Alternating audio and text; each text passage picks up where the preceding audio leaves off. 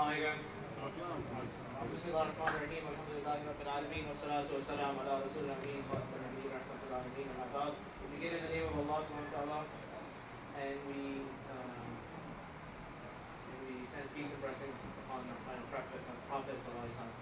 Uh, inshallah, we uh, have a program tonight for uh, we're going to hear uh, a number of Muslim athletes speak. Um, we're going to start off though with the recitation of the Holy Quran uh, Uh, by Brother Ali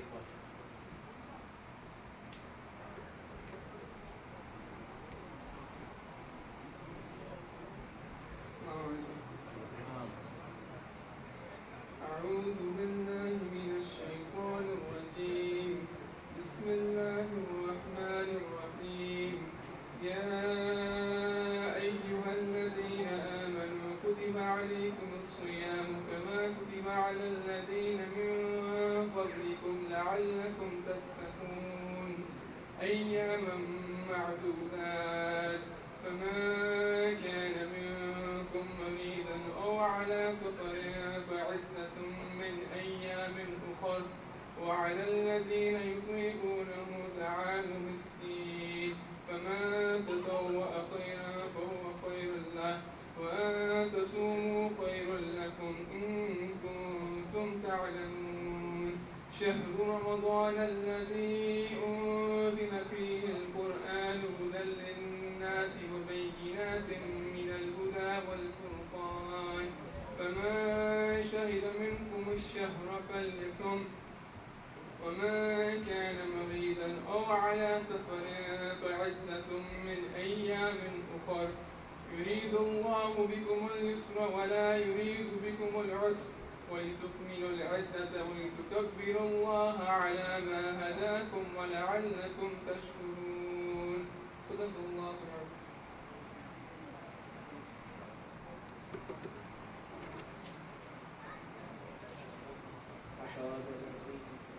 Uh, we're going to start with uh, Brother Sadam Ali.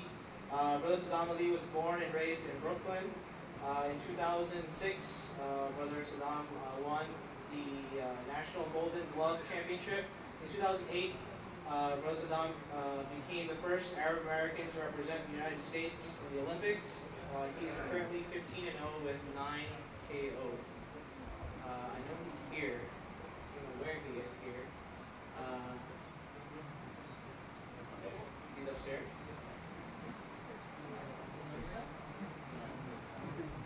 So, inshallah, Brother Sadam, if you can make your way downstairs, if you can hear me, which I think we probably can.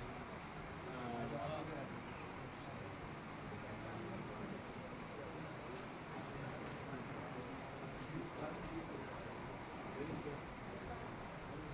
sorry, he's on his way. He'll be, he'll be right down. But in the meantime, I'll entertain you guys. So, uh, alhamdulillah, you know, it's the, it's the 15th of Ramadan today, so inshallah tonight it's going to be the 16th night of Ramadan. Uh, and, and it's sort of an, an, uh, it's, a, it's a reminder for us that half of, more than half of Ramadan is over, right? So for those of us who had goals in mind for Ramadan, for those of us who had ideas of what we wanted to accomplish during this Ramadan, this is really an opportunity for us to look back on what we've accomplished so far, on what we've been able to do and what we're uh, what we had written or unwritten or whatever we had in our in our own minds as goals for Ramadan. This is really an opportunity for us to you know test that. So while we're waiting for Brother Sadam, uh, you know this is really a great opportunity since we sort of have a few minutes. You guys can really you know if you don't make uh, uh, it's really an opportunity for you guys to renew your intention now. And Brother Sadam's here, so I'll stop here. But uh, inshallah. it's not.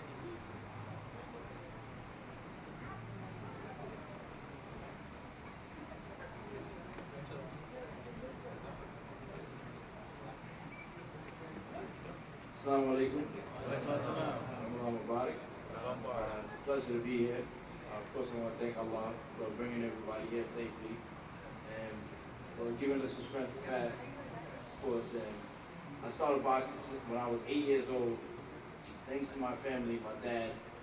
Um, parents are very important for them to be there for the kids and to keep you strong-minded, stay out of the streets, um, be respectful. I was raised right, and I want to thank God and my father for that also. But one thing about fasting is it's very is very hard, especially for me because I have to train and fast at the same time. So that's that's what makes it hard for me. So as I'm training, I'm, very thirsty. So hopefully I get extra hasanats for that. And um, basically, um, I started my own gym. Started my own gym about two years ago to, to help the kids in the community in um, in Bay Ridge, the heart of Brooklyn. Um, mostly Muslims there, and um, basically to give other people the dream that I had. Started boxing when I was eight years old. I made the Olympics. Um, I'm an undefeated pro now. Alhamdulillah, everything's going good.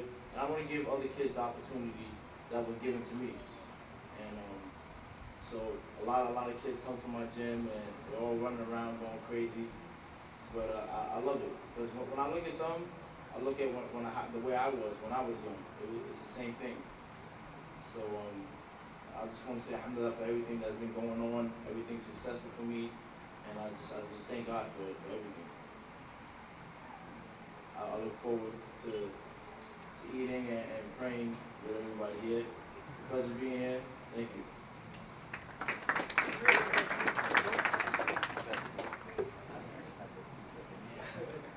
Uh, we can either do a question and answer, or you guys can come up here. We got we got some seats for you guys up here. It's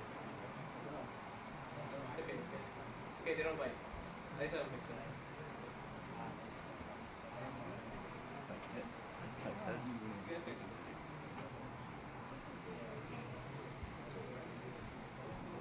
Yeah, if you guys have any questions for Brother Sadam, you guys can ask them, raise your hand. Uh, if sisters, if you guys have any questions, you guys can write them on the index cards and give them to uh, some of the sisters that are upstairs.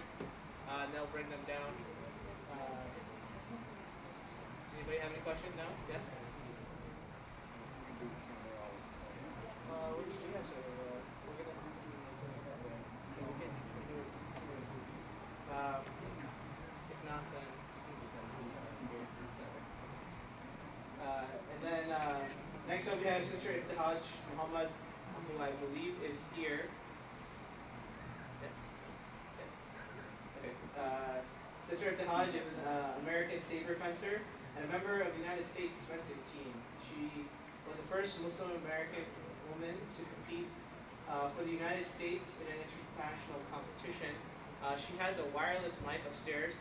Uh, so the sisters who are upstairs, you guys can see her, and the brothers, guys get to look at me. Uh, I'm not a fencer. But Sister Ibtihaj, if you're upstairs, you can uh, turn your mic on. Uh, or whoever has the mic upstairs can turn it on and start speaking, hopefully. Because this is about to get awkward. I'll standing here. No? Yes? One minute? Two minutes? Not here yet? Okay. Stay here.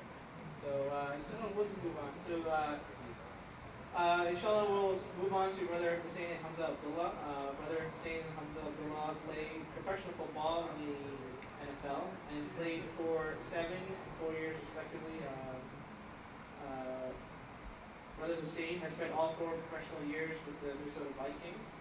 Uh, Brother Hamza has spent all of his time in Tampa Bay, Cleveland, Denver, and most recently uh, the Arizona Cardinals. This year, however, they both are putting their NFL careers on hold in order to do their Hajj. Uh, this Ramadan, they're visiting masjids uh, across the United States to share their stories with the community. This is really an opportunity for us. You know, they're giving up their their, their livelihood for a year for them to go for Hajj. Uh, may Allah subhanahu wa ta'ala on their work. Uh, and that's what they do for for so, uh, you know, they're not part of the Super Bowl champion York Giants. So. Inshallah, next week. What?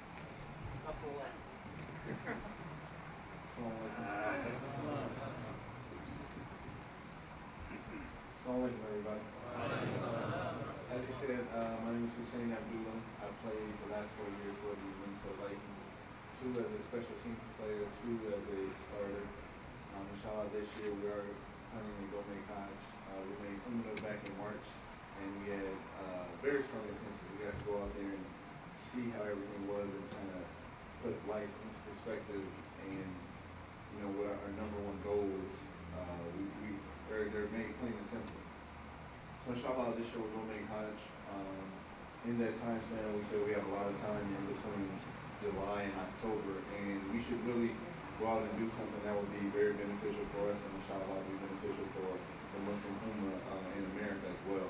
So we decided to go around and visit the different masajids and just to kind of see how Muslims are doing in America, just to just to be able to see the youth, talk to the youth, um, see what's going on, anything we can help out with, any kind of problem, any kind of advice we can give.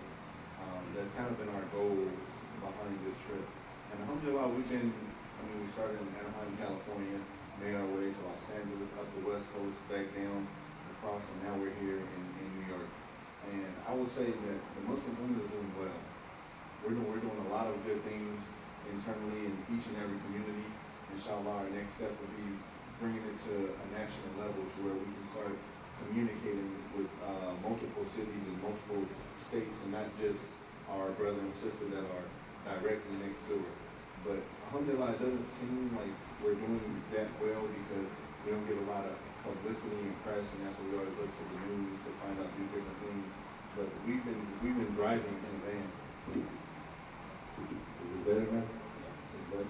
We, we've been driving in a van for the whole month of Ramadan, and I, we can, we can tell you that, alhamdulillah, we are doing a lot of good things. So regardless of the situation, um, make sure you, you stand firm and, and you definitely hold in. And I, I would say one thing that, that I've been trying to reiterate as we go on this tour, especially to the youth, and it applies to those older than us as well, is to really protect your inner circle, your inner circle of friends, and limit your influences.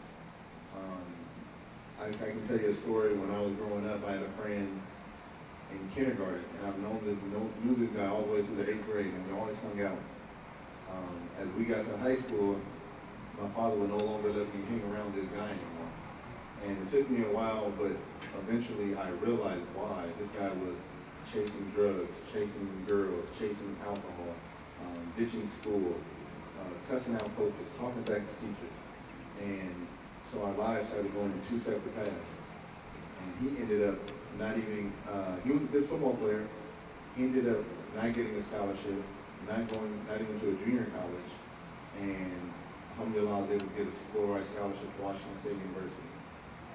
Five years later, I come back, I'm getting ready to prepare myself for the NFL. I see this guy at the store called Smart and Final. And I mean, you can just see the way drugs took a toll on him from the inside out.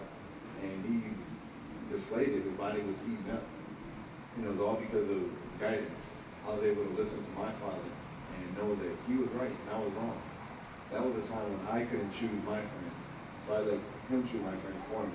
As I got to college, I had no parent, I had no parents around. So now I had to learn how to weed out my own circle. So I, I kind of just established a rule.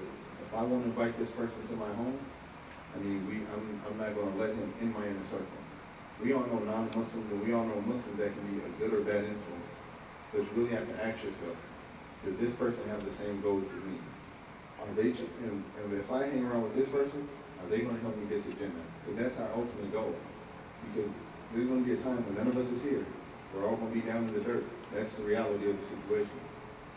So the people you keep, the people you hang around with, you ask, are they going to help me get to Jannah? Because I'm going to go to Jannah. It doesn't matter if you have a billion dollars or you have a penny to your name.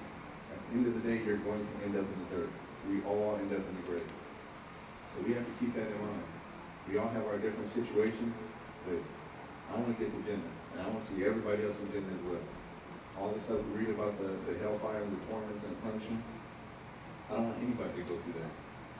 So make sure the people that you hang around with, that's the way they think as well. Because then when it goes time to do do something uh, juvenile or put you in a situation where you don't want to be in, they they'll know. I'm not going to call the same for that, or I'm rolling with the same where so where he's not going to do that. They're going to they're going to keep us in your best interest. So I really urge you guys to look at look at your inner circle of friends and to and, to definitely weed out the ones who who you feel are bad influences. Um, I mean, there's there's tons of there's tons of things that we, we can talk about. I I can see the situations uh, right around here, and it was kind of similar when we went to Detroit. A very rough situation, a very rough neighborhood, especially in Detroit. It was almost as if people just forgot about it. Like nobody cared for them at all. And all they had was their Islam. But that's more than the richest man in the world has. Someone told us Donald Trump has his own zip code. And you're like, man, I wish I could have my own zip code. But he has all that money, all that, and all he has is a zip code. It, it says that, inshallah, we, we attain paradise. Your house, your house alone will be better than the world and everything in it. This man has been working his whole life, and all he has is a zip code. We're working, we're, our goals are bigger than that. We, we strive for things that are way bigger than that. So you live in a right situation. But remember, you have your Islam, and that's more than anybody else in this world has. As long as you hold firm to the rope of I mean, we'll, we'll be we'll be far greater than anybody else. Um, with that, I'll turn it over to my brother Hamza, and inshallah, I, I'd love for you guys to bounce any and every question off of us because I know there are certain things that you guys want to hear and you guys need to hear in this community. So after Hamza speaks, we, we can definitely have a, a Q&A and don't, really, don't hold back. Because any kind of advice we can give, we'd love to give it. Assalamu.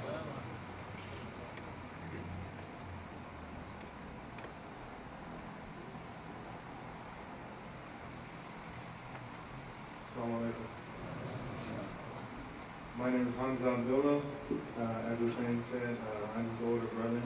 Uh, I played in the National Football League for seven years. Uh, this is the highest level of professional football, but that is not the goal for me. As Husain said, we are trying to attain the highest achievement. And inshallah, that is seeking the pleasure of Allah subhanahu wa ta'ala. As he said also, inshallah, we have uh, put off the, the, the beginning of the season. We are not retiring. We are not canceling our entire season in the NFL. But we would like to uh, we'd like to go for Hajj, and you know Hajj uh, comes during the football season. So in order to go, then we would have to uh, put put away something. It was football or faith, to be quite honest with you. And we figure, you know, Hajj is a once in a lifetime thing. So let's go for that. Inshallah, we'll work hard enough to make dua. And inshallah, Allah will bless us with the NFL again. So some people would say, you know, you guys are crazy. You guys are absolutely crazy. We've heard that. You know, to give away whatever type of money it is, whatever whatever you can dream of, whatever you can think of. You know, I've seen people with a lot of money, and that what and that's what you know the the Times Square. is. That's what America. That's what they want us to chase. They want us to chase the dollar bill. They want us to say, you know, you don't have what Husain has. So you have to work harder. You know, I live in California. My mother, she lives right next to a freeway. There's not one second of the day where no one is on that freeway. Not one second of the day. Why is that? Because they're racing towards the dunya.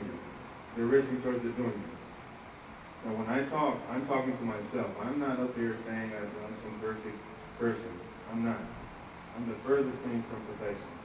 But I'm trying to work every single day, every single day to get better. Every single day to get better. Now you think about, you know, if I ask the question, you know, what would you do for a million dollars? What would you do for a thousand dollars? What would you do for ten thousand dollars? I'd be anxious to see, you know, what your response is. Ten million dollars, is that a lot of money? I mean, can we agree that's a lot of money? Fifty million dollars, can we agree that's a lot of money? One hundred million dollars, can we agree that's a lot of money? That's a great reward. Do you know what the reward of coming to the masajid for Fajr and Isha prayer are? Would you crawl to the masajid doors for a hundred million dollars? Five hundred million dollars? A billion dollars? There's not one person in this masajid that wouldn't crawl to this masjid, I don't care where you live, for one hundred million dollars. There's not one. But if, just think about that. But if we knew the reward for Fajr Salat, we would come here even if we had to crawl. The money, we can't take the money with us. But the ajr, the good deeds, that's what we can take with us. Why do you think there are people committing suicide? All these bankers, Wall Street bankers, thirty million dollars, fifty million dollars, some of them billions of dollars committing suicide. There's no barakah in that money. You can only you can only drive one car at a time. You can only sleep in one bed at a time. You can only wear one pair of shoes at a time. Let's not be wasteful. We are Muslims. I'm sure you guys are aware of all the situations of our, of our brothers and sisters around the world. Syria, Burma, you know, Palestine, all these different situations. And you know, we think we have it bad. So we have to make dua for ourselves and for our Muslims around the country. This is a brotherhood. This is a real brotherhood. You know, when, you, when we come, like Husain said, we've been going around the country. There's one thing that's universal. La ilaha illallah Muhammad Rasulullah. Regardless of where we go, we come in these same lines, form these same ranks, bow down to the same God, say the same Bismillah. That will never change. That will never die. But when we stop at a border, we have to what? We have to exchange our money. Oh, your dollar is not worth this. Your dollar worth the ajr of La ilaha illallah Muhammad Rasulullah never deteriorates. So hold fast to that. You know, you see us and you say, oh man, those guys are up here. I want to be like that. No, no, no, no, no. You want to be like your father. You want to be like these brothers in the masajid, these sisters in the masajid. The brother who cleans the mosque, who cleans the mosque, who's here every single day. The brothers who on the front row on the right side. The sister who, who cooks iftar. That's what I'm trying to be like. That's what I'm trying to be like. Why do you think there are uh, celebrities and athletes coming to Islam? The bankers, you know, all these people, all these professions, lawyers, doctors, surgeons, coming to Islam. Because they aspire to be like you. You aspire to be like them. They aspire to be like you. They have the American dream. They have all the fancy cars. They have all of the money in the world, but there's no edge. There's an emptiness. When they lay down and they go to sleep, there's an emptiness. The, you know, when you talk about going to paradise, the, the people who enter paradise are the people who have the lowest amount of money, the poor people. Because they don't have to answer to anything. You know, what did you do with your wealth? I had no wealth. Okay, this one. Alhamdulillah. I'm saying talking about the richest man, you know, one of the richest men in the world. So he gets to say, yes, I have, a, I have zip code. His hair is falling off, you know. Everything is falling off. Everything is deteriorating. He pays $100,000 a month on child support or something like that. You know, there's, he's, and he's constantly working. You see him. You would say he is successful. That's what we would say. If we had to paint success, we would say in the American eyes, he is successful. But where's the edge? You get more edge if you gave the ten dollars a katul fitr than he would ever have with that five hundred million dollars or whatever it is he has. So continue to say Alhamdulillah. All praise are due to Allah. You know, I was texting someone earlier today, and you know, they asked me, I can't even remember what they asked me. But I said, just promise me this. Promise me and say this dua with me. I said, oh Allah, every single step that I take, please bless it to be a step closer to you. And a step away from evil. Oh Allah, please bless every step that I take, be a step closer to Jannah and a step away from Jahannam. Oh Allah, every step that I take, make it to be in good, to be the sake of you, the sake of doing well, and leave off the things that do not matter. You know, we have to continue, continue this brotherhood. This is, mashallah, this is beautiful. Brothers and sisters in the masajid. Alhamdulillah, you guys have a great structure. YM does beautiful things. So there's no complaints. There's no complaints about lack of programs, about lack of leadership. MashaAllah, you guys are beautiful. This is a very beautiful community. This is the safe haven. This should be the safe haven.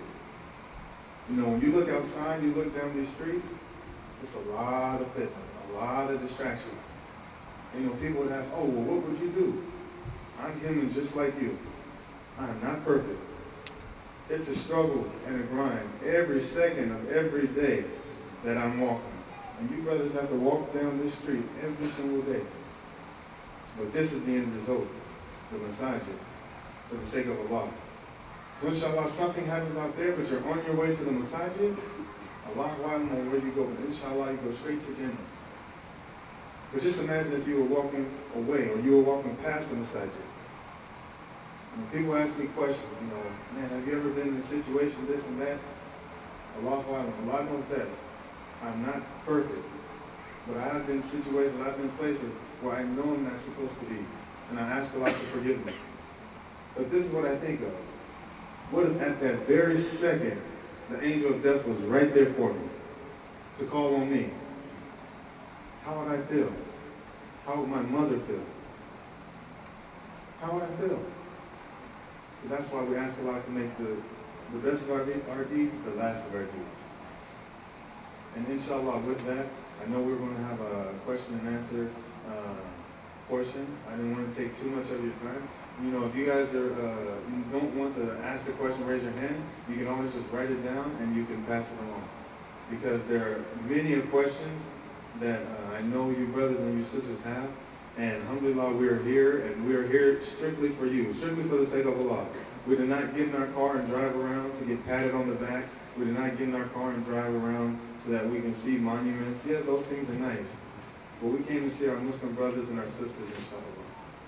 So inshallah, uh, with that, I will pass this on to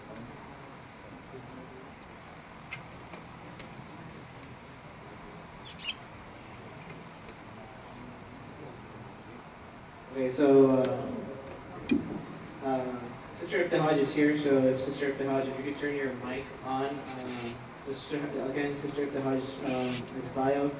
She's an American saber fencer and a member of the United States fencing team. She won. Uh, she was the first Muslim uh, woman to compete for the United States in an international competition. So, Sister Ibtihaj, uh, please turn your mic on, and then you can speak. She's upstairs. Assalamualaikum. Um, thank you so much uh, for having me today. Um, I'm so sorry that I'm late. We were stuck in a lot of traffic traveling in from New Jersey. But again, um, uh, big out to everyone for coming out and also to the Abdullah brothers. I really appreciate the invitation. Um, I just wanted to come out and you know see uh, my brothers and sisters in Islam. It's so nice to see all of you.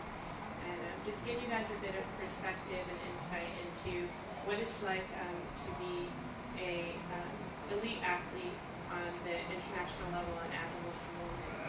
Um, it's been a really tough road for me, but uh, alhamdulillah, it's been a really successful and um, enlightening one.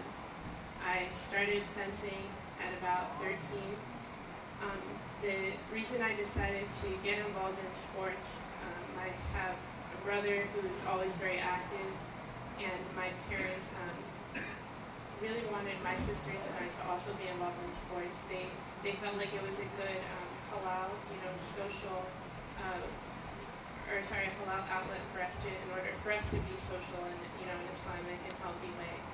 Um, I started fencing and I guess I was good at it. Uh, I got a, a scholarship for university uh, to go to Duke in North Carolina, and um, from from there, once I graduated from Duke, I decided to pursue fencing full time, where I did earn a spot onto the United States national team.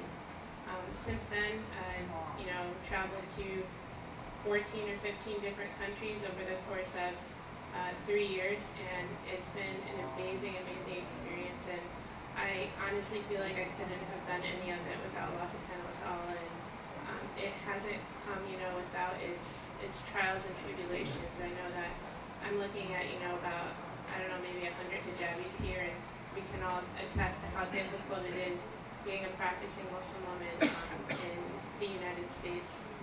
And uh, I, I think that, that that becomes a lot more difficult when you put yourself in an environment where, you know, you are not only the um, re only religious minority on a team, but also, uh, you know, oftentimes the only uh, ethnic minority as well and I, that intensifies when you do travel abroad. And I, I feel like I've learned so much about myself, you know, um, a lot about myself spiritually.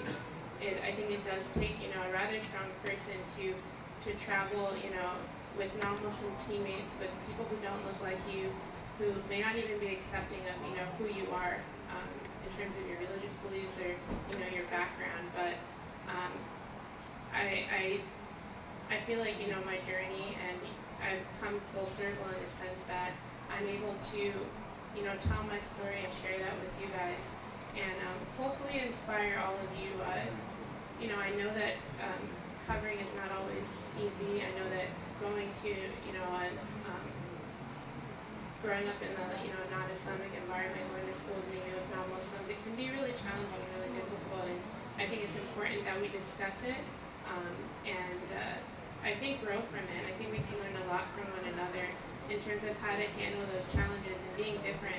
I know that it, is again very difficult, but um, I, I know that you know through sports, uh, it's I've learned so much about myself and also just how to be more confident. You know, being hijabi and being strong, not caring what other people think about who I am or what I believe.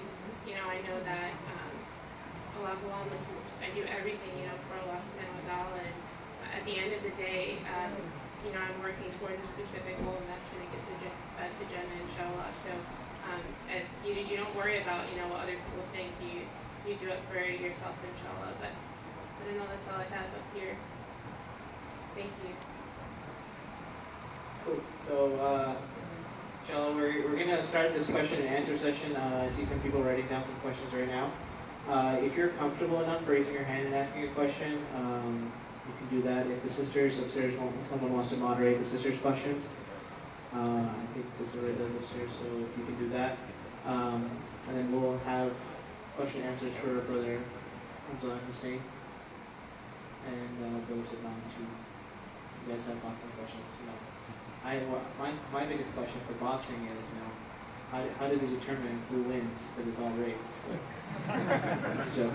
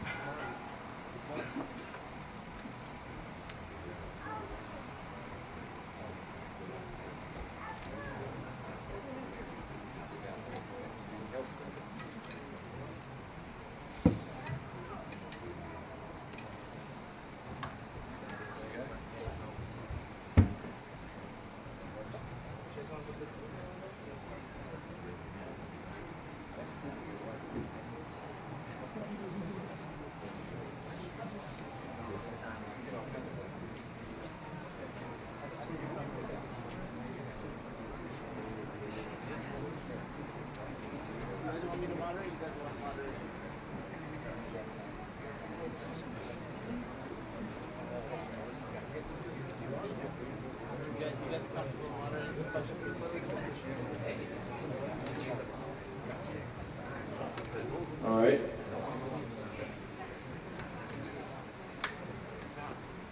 This is a question for all three, so I guess I answer first.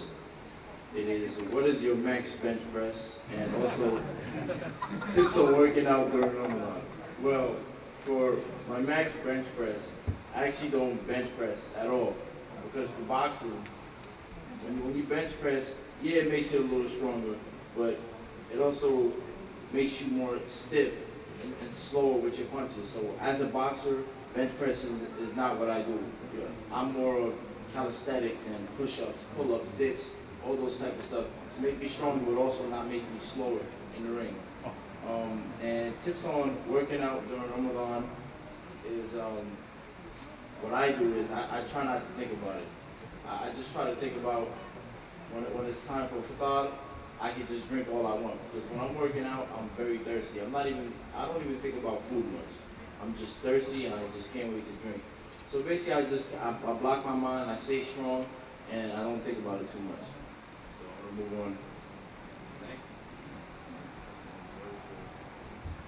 Um, in terms of max bench press, I actually stopped benching because my rookie year I tore my labrum in my shoulder. So I don't have, I have limited movement in my shoulders, but it gets to a point, bench press is overhyped, man. That's all I think about. Like, like, like, you can use, like you said, push-ups, uh, I use a lot of the resistance bands, and I get way more strength doing that than I do uh, with any kind of push-ups. Uh, I mean bench press. Uh, this one says, who is harder to cover, Megatron or Fitz? Um, I play Megatron twice a year, so of course it was Megatron. But Fitz is, I mean, he's no slouch, of course. Uh, let's see, if the NFL season started today, how would you guys be active while fasting? The last nine years, going back to my senior year in high school, we fasted and played football. In high school, it was it was simple because one is high school, so you're playing against kids, and we had night games. Every game was a night game, so alhamdulillah for that.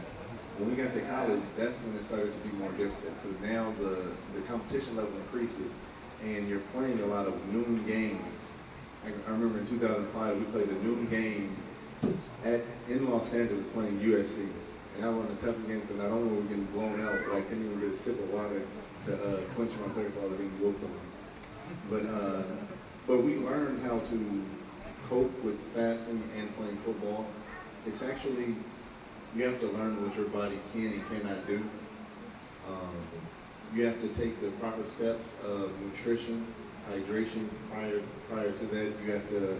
I mean, we're big on hydration, drinking water, coconut water, uh, Gatorades, Pedialytes. Uh, I started drinking pickle juice as well to keep me from cramping. Sahur, this one had talks about sahur. Sahur, and honestly, I just eat a, a bowl of oatmeal and my fluids, and I was good to go. When you, when you try to load up, you get too heavy. It's not, I mean, and it's not, that's not what Ramadan is. You don't go and have a Thanksgiving feast in the morning, Thanksgiving feast at night. You know, so you, you just uh, get just enough to be able to, to fuel yourself. But fasting and playing football is really knowing your body's limits when you when you have to go hard and when you can't exert energy and when you can kind of pro glide. And if you don't know what pro glide is, just imagine going 60 miles per hour and then you see the police and you're in the 55 and you take your foot off the gas and now you're just gliding. That's a pro glide.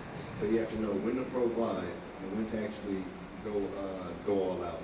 So for any of you guys that are playing sports and you're fasting and playing football, make sure nutritionally you're not eating cake, ice cream, fried foods, uh, all the all the fast foods. Leave leave all that stuff out. Eat healthy foods. Make sure you hydrate and learn how to pro glide.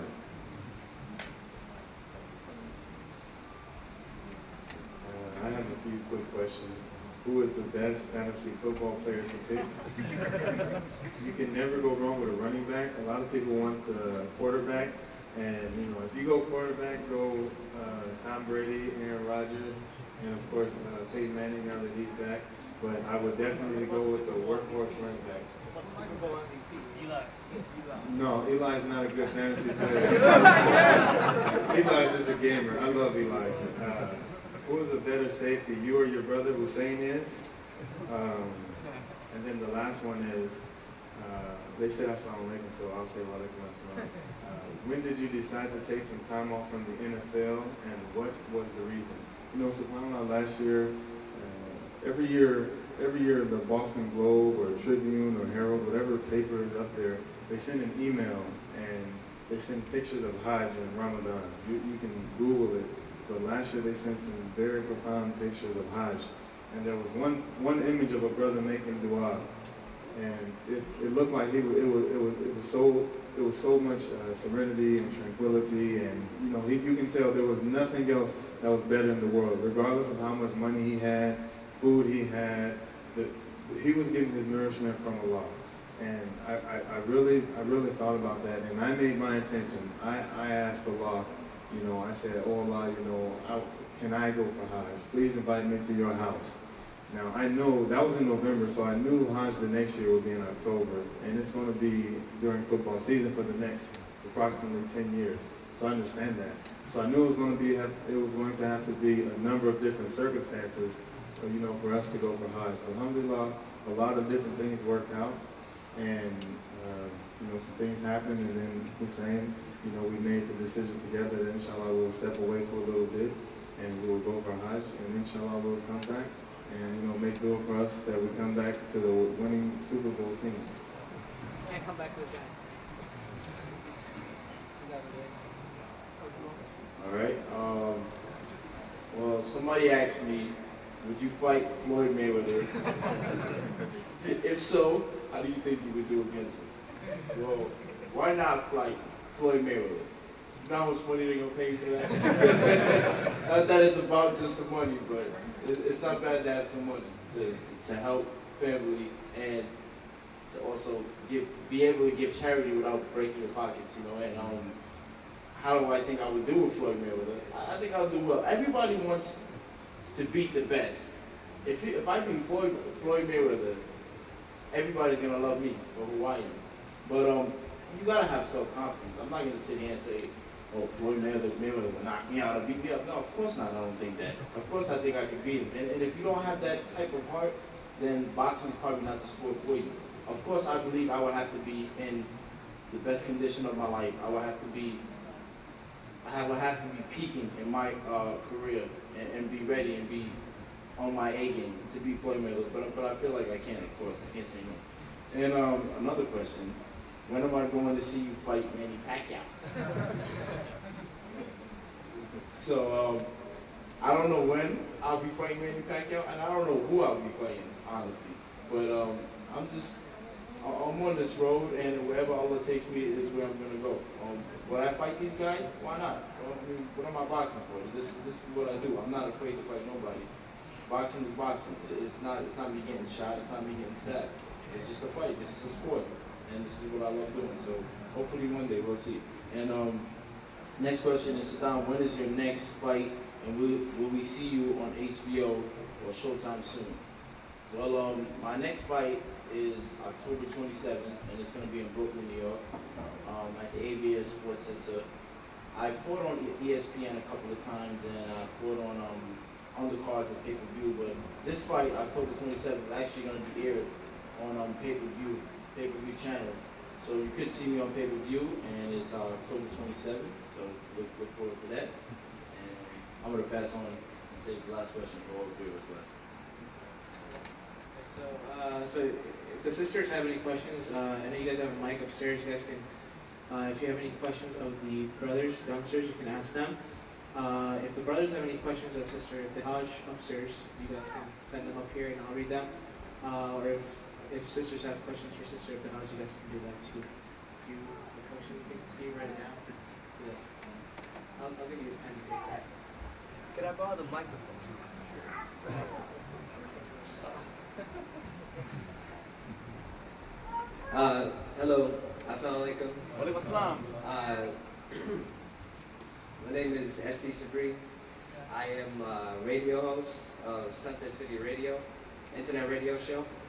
And I would like to invite all four of you to our show to basically share your stories of what you've been doing this Ramadan. And I wanted to know if you would be interested. So I'm cordially asking everybody, awkwardly. Yes, okay. Assalamu alaikum. Jazakum Allah for that awkward invitation. Yeah.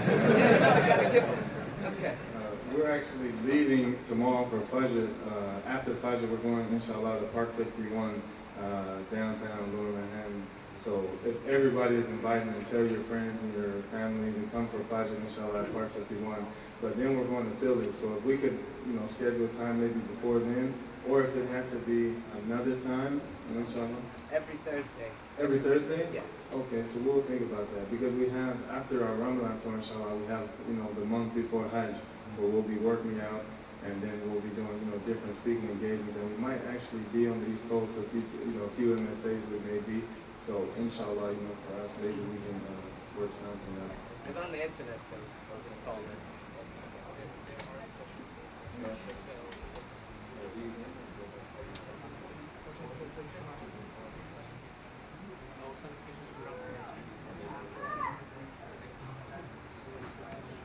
Are, are there any questions from the sisters to Sister Ibtihaj? Or from the brothers to Sister Ibtihaj? Yes, no? You guys have a mic upstairs. There. Hello? Sorry. Uh, yeah, there are questions. Should I read them? Yes. Okay. Um, sorry. Um, are, y- are your team members open to you? And if not, have they just recently opened up? And how did you get them to open up? Um,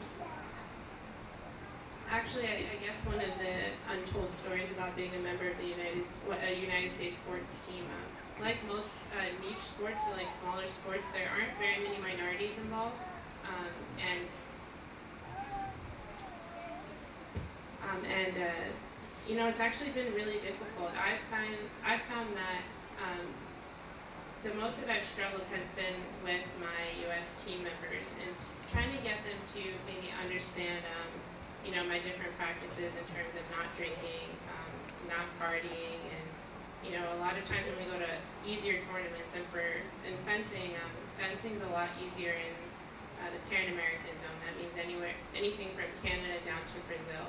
And when we have tournaments in some countries where uh, the competition may be a little bit easier, you do find that you know your teammates want to spend time, you know, uh, socializing, and it's it's tough because they want you to be a part of the team, but at the same time, that's not those aren't things that I personally indulge in. I don't I don't drink, I don't smoke, I you know don't hang out with them late at night, um, and I know that that's something that they struggle with. Uh, they want me to be you know socially a part of the team, but uh, the way I the way I found is that I I can't you know interact with them during that time when you know they are inebriated or when they are drinking also, uh, I, I found that you I get a lot of underhand comments about being Muslim.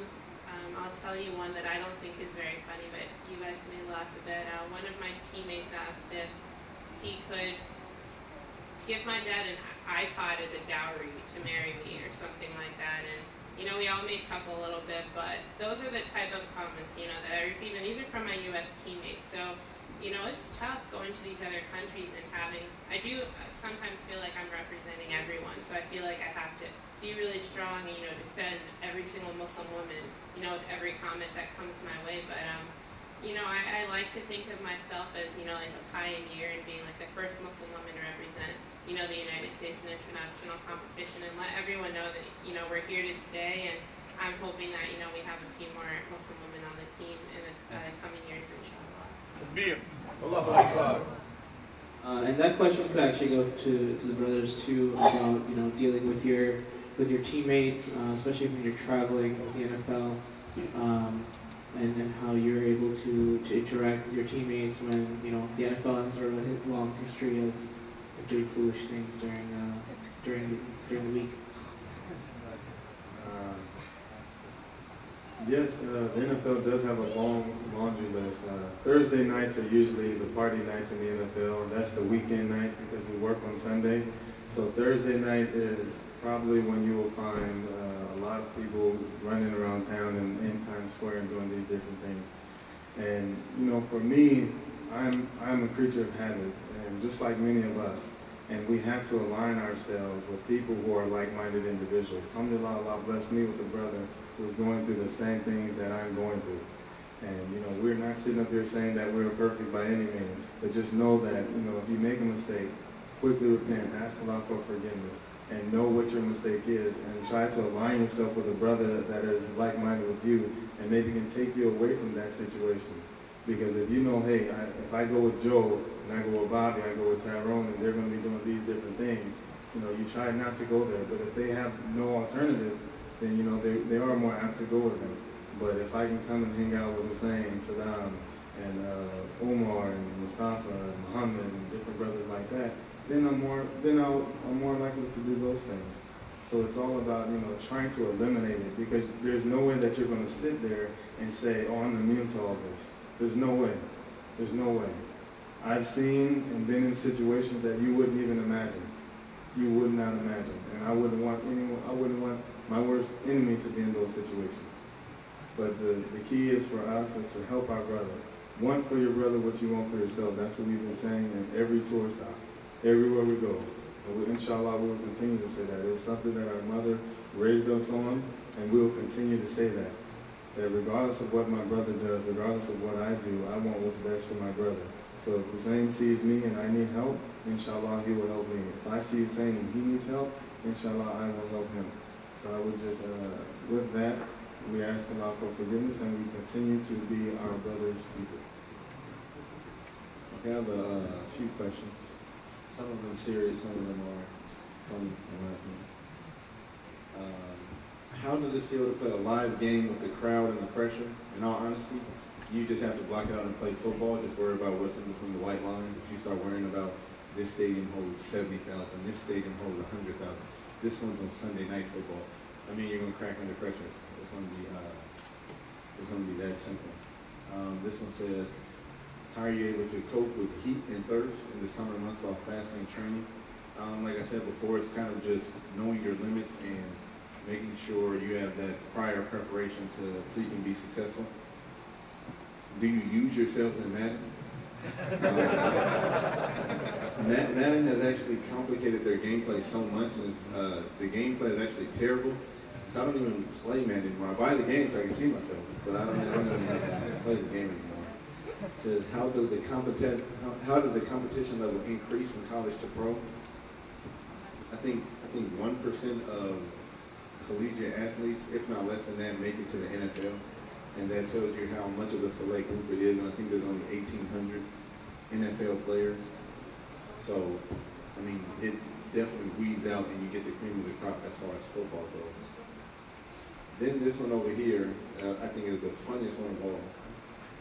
How are you able, and this is kind of written like a text message, how are you able to refrain from the NFL culture of serial relationships? Now, seriously, digest that and, and, and think about that. The NFL culture of serial relationships. And you, you really have to sit back and say, is that only in the NFL or does that happen all the time? I can tell you from, from where we grew up, that happened all the time. It being in the NFL and you guys seeing it in the media and this person, that person, I mean, that's what the, the TMZ or, or the Gossip or whatever website, gossip website you're looking at, that's what they're going to throw out there. But sadly, that happens on smaller scales in a lot of different communities. So don't just say because it's the NFL, this is what goes on. I'm a married man. My brother's married, my brother's married, and I hang around with people that are married. So these serial relationships that you're talking about, and that's kind of, um, I don't really want to rant, but when we're in Canada, uh, the Sheikh Shahzad, he talked about success and defining success. And unfortunately, a lot of people who were born into Islam, we buy into the American dream and what success is based on what they tell us more than anybody else. But at the end, he's sitting there and he's showing us all these different videos. He, he heads the uh, Canadian Dawah Association and all this stuff, these guys who had status, who had money, who had these uh, different relationships with women and all kind of stuff, they they're like, man, this this isn't life. This is just so it's just so empty. I want to be a Muslim. So while we're sitting here asking questions like this, thinking about what they have, they're sitting there looking at you saying, I want to be like you. So as I was saying before, we have Islam. And that's better than anything and everything else in the world. So hold on to that and don't even entertain stuff like this. Okay, um, this question I think goes for all three of us. It says, do you have any hard times from non-Muslims picking on you guys related to religion-wise in your own team or other teams? Well, um, for me, I had some people that would uh, have the hate or didn't think I would be able to do certain things. Not not too bad, but they wouldn't think I'd make the Olympics, which I did. The first Arab American to make the Olympics, the first Arab American to fight for USA in the Olympics. So um, they are some, but for me, not not too much.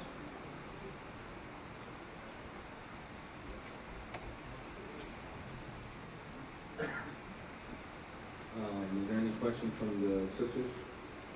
Or to this, from the sisters to the sisters? Um, well, I think this question can be answered by everyone. Um, you've experienced being out there on an international level. What advice would you offer aspiring Muslim youth who want to pursue something great? The second part, uh, looking back on your journey thus far, would you have done anything differently? So, uh, I, I guess I'll answer first. Um,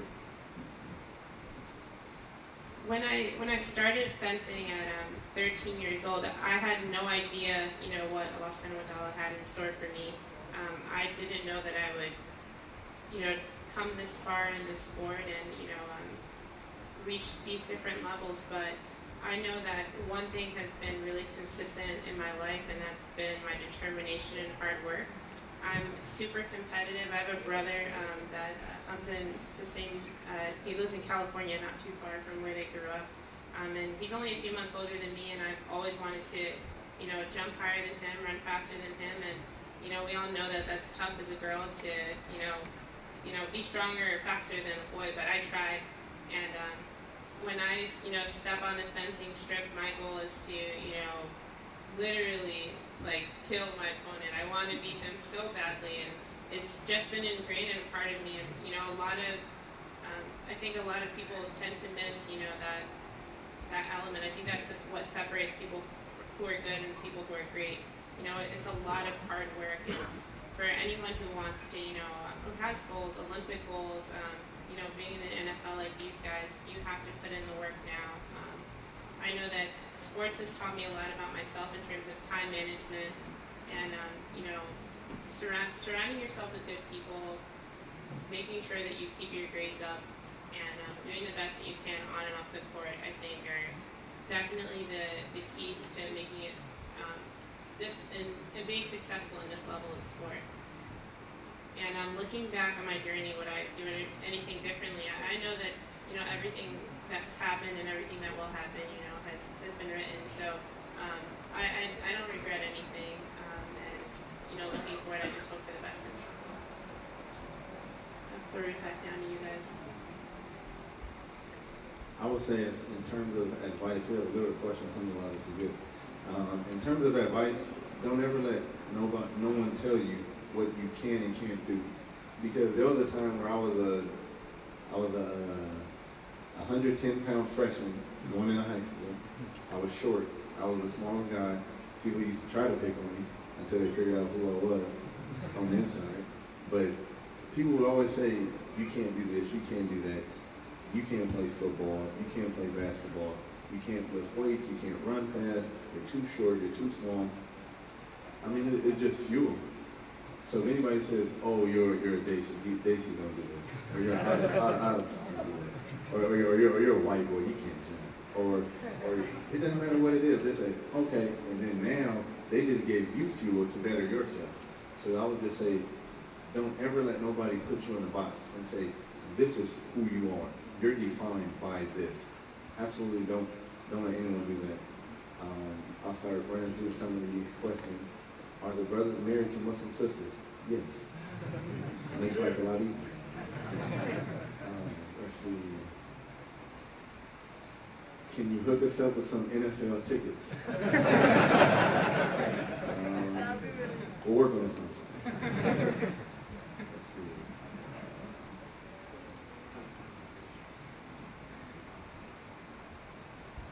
This one is asking if we, oh, and they even put from Hadi, so he wants to know the, the Hadi, we got your question.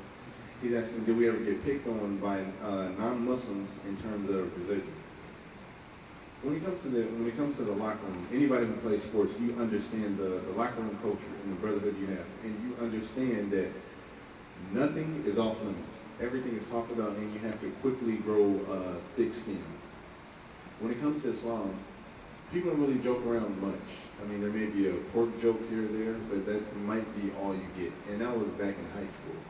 When you get on a professional level, it's just more of, because of how you carry yourself, it's more of a respect thing. They have a lot of respect for you. So don't change in situations and say, I don't know, I gotta be this way on this guy. Just be yourself. And they'll actually respect you a lot more for that and whatever jokes or um, people are talking about, it'll, it'll, it'll stop in a hurry. What is the process of becoming an NFL player starting from high school? Work hard, man. You just have to, you know, seriously, you have to, you have to grind, you have to study uh, on the field, off the field, uh, working on your technique. Grab a mentor because everybody needs a mentor. Make sure it's a good one because when people don't flock to good people, you're going to flock to somebody. So make sure it's a positive mentor. And it, really it really is just working. It's working and having that will inside to, to be the best. First, be the best so you can get started on your team. Then be the best player on your defense or offense. Then be the best player on your team. Then in your city. Then in your state. On and on and on and on until you accomplish whatever it is you're, you're looking for. I have more questions, but I'll pass them on. All right. Um, one of the questions are, where are you from and what influenced you in boxing? Well, I'm from Brooklyn, New York, and also my parents are from Yemen, so also from um, from Yemen. And what influenced me in boxing is when I was about five, six years old, I grew up watching Prince Naseem Hamed as a boxer, and um, when he fought um, Kevin Kelly, is when we would push up the couch and really watch his fight. And the way the way Prince Naseem was, the way he comes out, he's, he's an entertainer. He Comes out dancing, he fights, he knocks people out. So it, it influenced me to start boxing. So from there I started boxing. So I guess it was Prince Naseem that, that really influenced me to start boxing. Um, well, um, I don't really have any locker room experiences. So it says, what was your worst locker room experience? I'm just gonna pass this over here and probably just skip that one now. Okay. What or how do you handle a situation where you're faced with alcohol? For example, if your team is celebrating and if you are a woman, my question is for all of you. My question is for all of you, I guess. Um, well, alcohol. When you when you tell most people, especially Americanized people, when you tell them at first they're surprised, they're like, "What? You don't drink? Everybody drinks." But for me, mostly everybody respects it, and it, it's not so hard for me. And like, I'm not like I don't have like an NFL team like where when we win a big game, everybody wants to go pop bottles and party. For, for me, it's different. When, when I win a fight, it's like I can't even go party and go out after because my, my father is very strict. But I respect it. It's made me who I am now. So I actually just go back home to the family and I just relax and, and get some rest in me. So for the alcohol, it, it's not so hard. Okay, this, this question I haven't even read yet, so let me see what it is.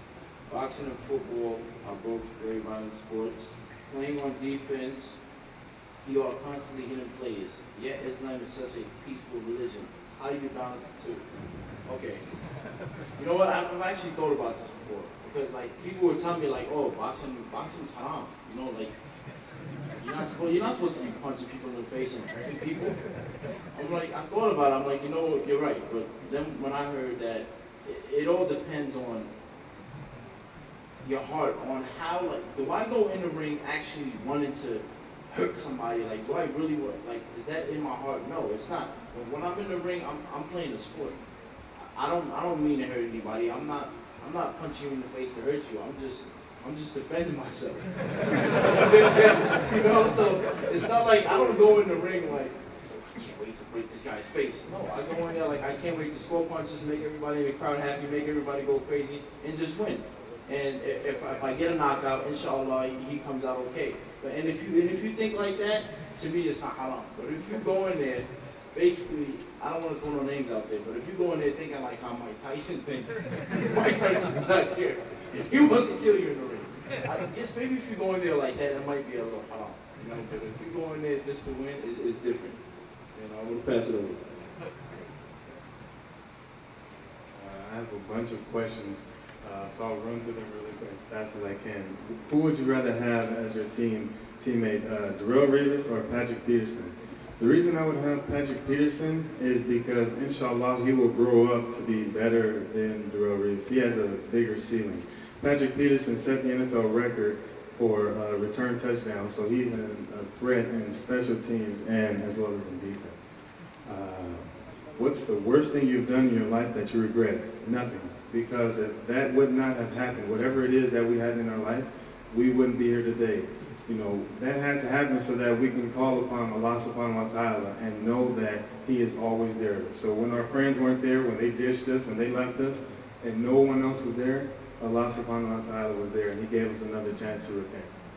Uh, can you give a few words emphasizing on how important prayer and being a pious Muslim is? And that ties into another question that's here. Uh, prayer is the only uh, pillar of Islam that was uh, that was handed down to Prophet Muhammad Sallallahu in the heavens, which tells you how important it is. Uh, the first thing that we will be asked about on the day of Qiyam, inshallah, is our salah. Uh, when you go to Mecca, you know, there is not a call to when your chicken is done, it's a call to prayer. So, you know, we have to understand that there are five things in, in, in our day, five scheduled, five appointments that we have to keep. Uh, so prayer is the number one thing. Prayer, prayer keeps you away from a number of different things. Uh, this question says, may you recite some Quran. Uh, one surah that, alhamdulillah, that I'm that I'm into right now uh, is Surah Al-Rahman. I, I, really enjoy it. And so I'll just say a few uh, ayat. Uh, Bismillah ar-Rahman ar-Rahim.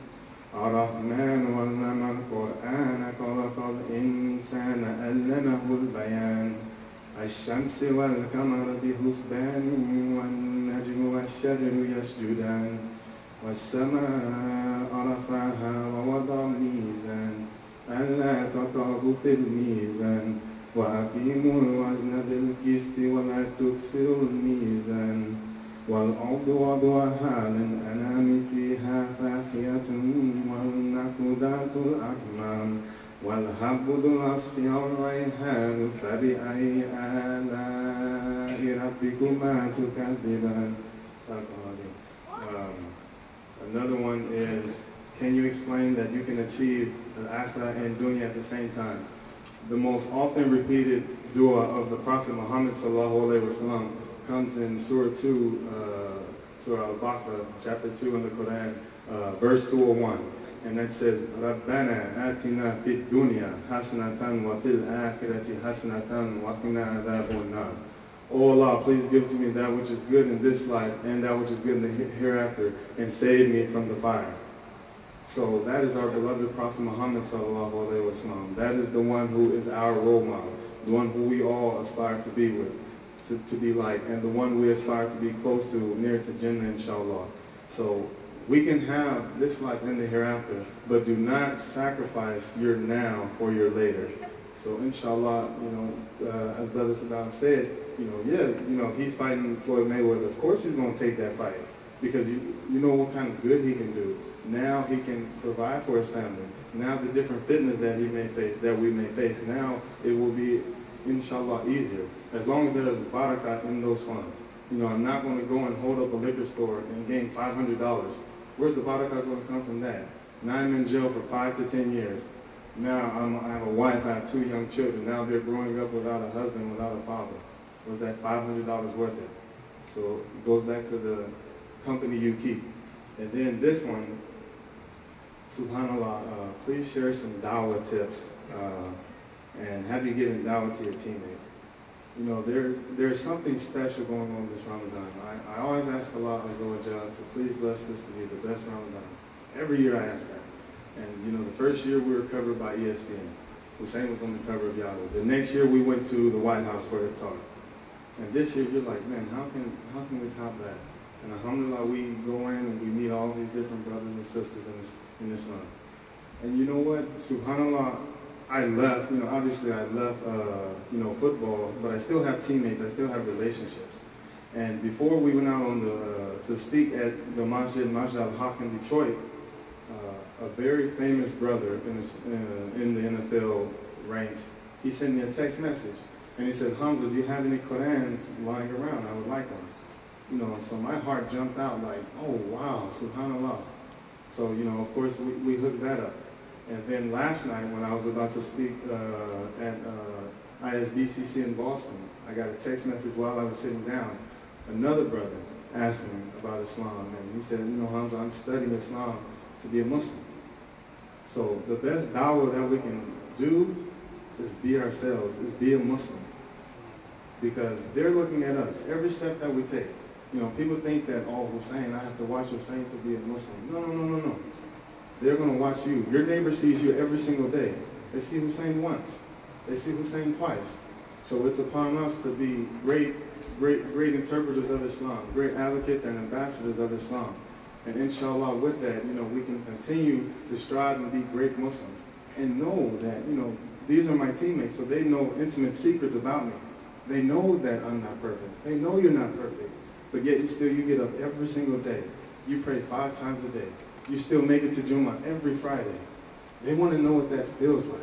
They want to know what it feels like when everyone else around you is going crazy over money, over this, over that, and you're just staying the same thing. You're staying the same plane. your women are modest. You know, that's one thing. The sisters, and I commend you, uh, you know, uh, I, I can't see the sisters, but alhamdulillah, you know, I just want to thank you for being the, the pillars of Islam and being an example to, for us and wanting us to be stronger in our game. Because if we walk down the street, you know, if me and Husain walk down the street, people just look, they, they won't look twice. But a sister, she represents Islam, she represents modesty, she represents beauty. That's true beauty. So it's upon us as brothers to protect our sisters so that they can feel comfortable. So that when they come to the masajid, they feel comfortable. And inshallah, I'll pass that to Husain. Okay, some of them, would you play for Rex Ryan? Yes. Which wide receiver talks the most smack? Steve Smith. Do you have a chance without AP? AP is back. Is Ponder going to have a breakthrough season? Inshallah. Uh. Please come to the Giants and the Jets. Tell your GM to sign Hamza Husain what did you want to be when you were very young? In all honesty, I wanted to go to Jannah. My mother told me about it. I said, that's where I need to be. Do you guys hang out, meet other Muslim athletes and celebrities? Obviously, we're just starting. Um, the whole, this one goes back to when he said, what was your worst locker room experience? I really, I really don't have any because I, I mean, I do my job and I get out. All the other foolishness stuff that goes on, I mean, I may look at it, laugh at the guy who's doing random stuff that they know they shouldn't be doing, and then I head home. This one is a good one. It talks about uh, what advice can you give to parents who are raising their kids here in the U.S. This is this is an easy one and a difficult one at the same time because it depends upon the child. Because the parent the parent definitely has a tough job. They have to provide, they have to go out, they have to work, they have to protect the child, but then also the child, you have to, just like we have to learn how to take coaching, the child has to learn how to take coaching. So we were born in Los Angeles, California. Um, my mother moved us to Pomona, California, which was a nicer area at the time, but it quickly, it quickly turned. So for us, they taught us a lot of good things inside the house, but it takes a community to raise a child. So when we got outside of the house, we, had, we kind of we kind of had to put on our armor.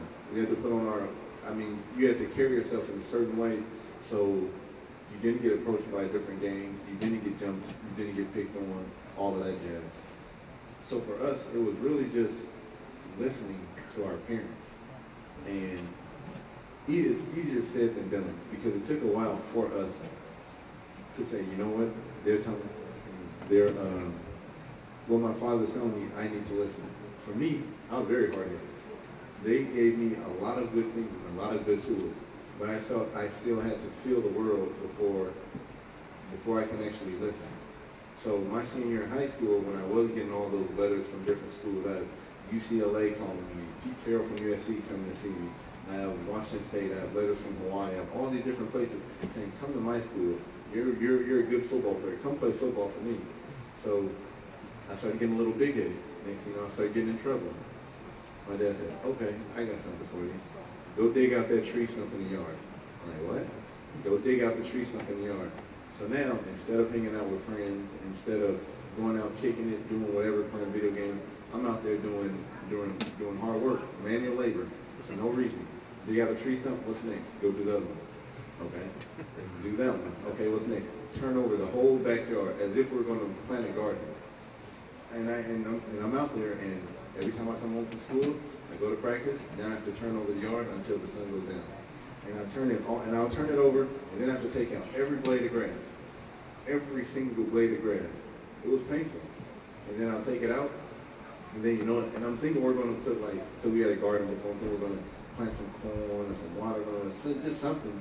No, he sends my little brothers and sisters, they run outside, they trample all over the ground, they flatten it back out, he said, go turn it over again. so for me, I was like, you know what?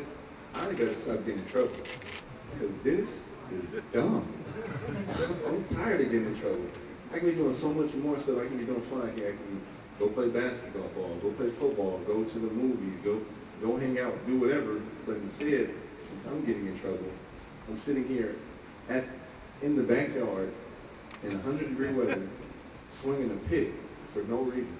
It, I mean, seriously, I really had to get over it myself and start taking the coaching from my parents.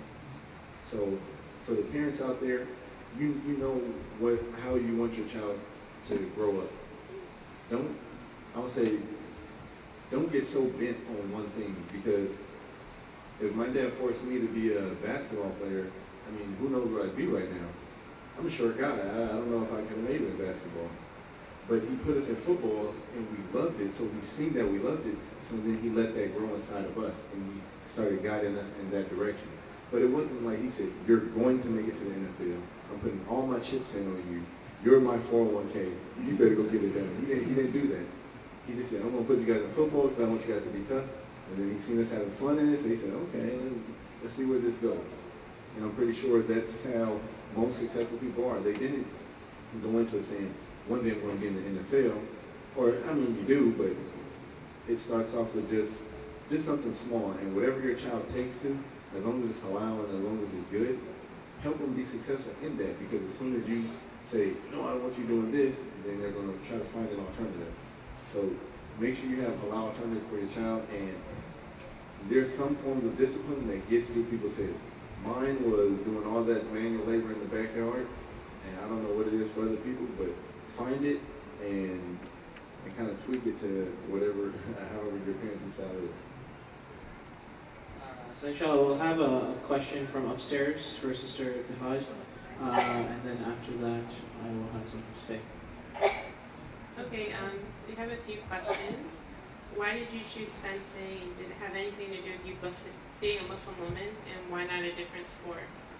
Um, as a kid, I played uh, tennis, I did softball, I ran track, um, but as you know, in all those sports, you're not fully covered.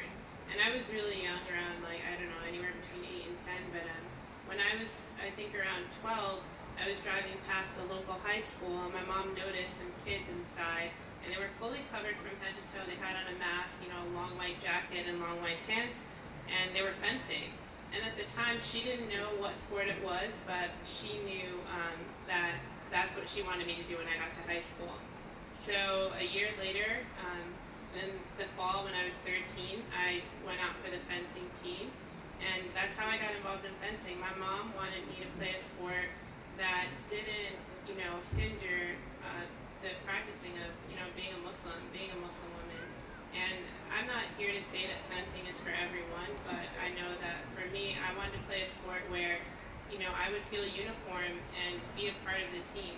It was the first time in my life you know, I felt really a part of the team. You know, as as a guy, it's easy, you know, for them, like um, I think uh, Hamza said earlier, you know, when they walk down the street, no one knows, you know, that they're Muslim.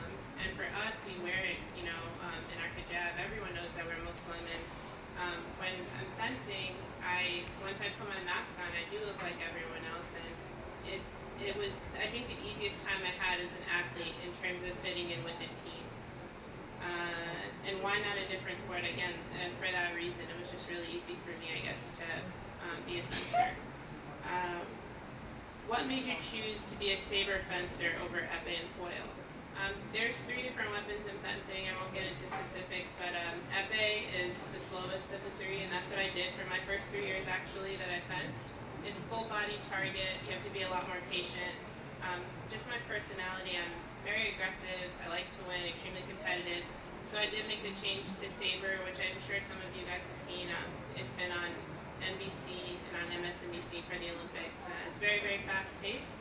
And you have to, you want to, you know, be a step ahead of your opponent. In fencing, they say that, um, you know, fencing is a physical chess. You know, you want to tactically be a step ahead of your opponent. So I like how quick thinking you have to be in, as a saber fencer and also, uh, I guess, the speed and agility of it.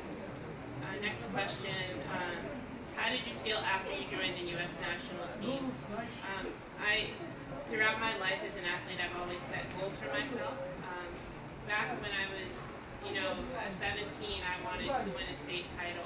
I wanted to go to a good university. I wanted to, you know, make a, a U.S. national team. I wanted to win a U.S. national title. And alhamdulillah, I've been able to accomplish all those things, but I've never set, you know, these huge lofty goals. When I was 17, I never said, you know, I want to be on an Olympic team. That wasn't necessarily in my, you know, um, line of thought. I set goals that I thought were attainable. Um, I knew that I could, you know, win a national title. I knew that these things would come, but they would come with hard work. And um, once I was able to, uh, you know, earn my spot on the U.S. national team, um, I honestly, I was on cloud nine. Alhamdulillah. It was such a, a huge feat for me. Um, and, you know, not just for me and as a Muslim woman, but also as an African American um, woman. There had never been, you know, an African American woman on um, the United States fencing team before in my weapons. So, um, you know, there were a lot of, I think, um, different landmarks that I had that I had reached just in terms of being not only African American woman but also Muslim woman as well. And um, have you ever had any confrontation while fencing one of your matches while in a different country? Uh, they don't necessarily come when you know you're on the fencing strip. Uh, they come in different forms. I, I, think that all of us know if you have um, a, a, you know an Islamic name. My name is Ibtihaj Muhammad, as you guys know, or like you know um, Sadam Ali or whatever your name is. It's very difficult uh, to even go through the airport. I always say that you know when I go to the airport and have to deal with the TSA, it's like my daily massage. You know, I always get that random surge where you get that pat down, and um, I, my toughest experience has been at the airport in Belgium. Uh, the the security told me that I, in order to board my plane to go back home to the United States, I would have to take off my hijab. And immediately I froze. And for the first time, I mean, for those who know me, I'm I'm never at a loss for words. Uh, but I was shocked. I didn't know what to say. I wasn't sure what I was going to do. And alhamdulillah, it was one of those competitions that my mom was with me on. And she never comes to competitions, but she was there. And she immediately took over, and the guy didn't speak English. We didn't speak Flemish or French, but she explained to him, you know, she was like patting her head and showing him, this is what we do in the United States. We don't have to take off our scarves. And, you know, he yelled at us. He said, if you want to get on this plane, if you want to go home, this is what you're going to have to do. Um, I think after him and my mom going back and forth, my mom stayed really calm, uh, which I, I think is very commendable because I was like literally two seconds away from crying. Um, you know, they ended up taking us into a back room and letting us like do our own self pat down. And alhamdulillah, we were able to board the plane and get home in one piece. But those type of scary moments do happen, and um, you know, you just have to be strong. Like I said, I'm just really, really hopeful and praying that there are so many more Muslim women and Muslim athletes to come after me because it's such an amazing experience just to and see, you know, different parts of the world and experience so many different things. Um, as I guess as a United States athlete. So, uh, you know, we're gonna we're gonna stop the questions here. Uh, we're passing out dates and water. I think all the brothers got it. The sisters should be getting dates and water now. Uh, we have until 8:06. Um, but there also were donation boxes being passed around. The cost of this event was almost four thousand dollars, just because of iftar alone was you know almost three thousand dollars. So uh, anything you guys can give in terms of donations, um, anything that's over the cost of what we cost to put on this event will be going towards a lion retreat that we're having in, in August. Uh, so if anyone, you know, if everyone can please, uh, the donation boxes are here. Please feel free to give as much as you can. Um, and, you know, just just you know, remember that the cost of this event was almost four thousand uh, dollars, and we have food for everyone as well. Uh, we're gonna have a, a short meet and greet. We only have six minutes, so if you don't have wudu, you can go make wudu now uh, because that's the only wudu area. So that's gonna get crowded pretty quickly. If you uh, already have wudu, you can come and meet the guys uh, and the sisters. You can go meet uh, Sister Ibtihaj. Uh, we ask you guys to do it extremely cordially. Uh, you know, salam.